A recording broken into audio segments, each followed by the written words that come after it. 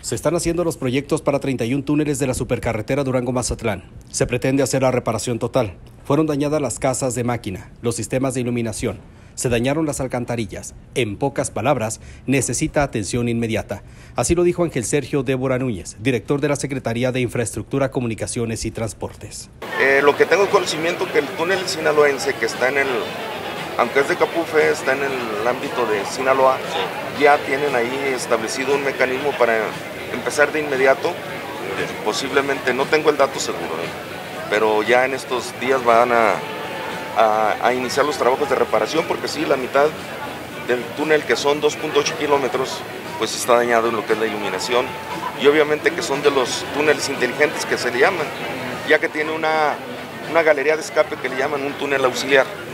Y eso es muy importante que lo tengan en buenas condiciones. Ustedes saben, el tema de la autopista Durango-Mazatlán eh, fue eh, una asignación federal y, ahorita realmente Capufe es quien está operándolo y lo administraban obras. Es necesario expresar que así como las gestiones que hicieron empresarios y diputados de Durango para que se atendiera la problemática de esta carretera, sería bueno que hicieran la petición de privatizar la autopista Durango-Mazatlán. Con imágenes y edición de Raúl Vargas, le reporta para Noticieros Garza Limón, Víctor Salas.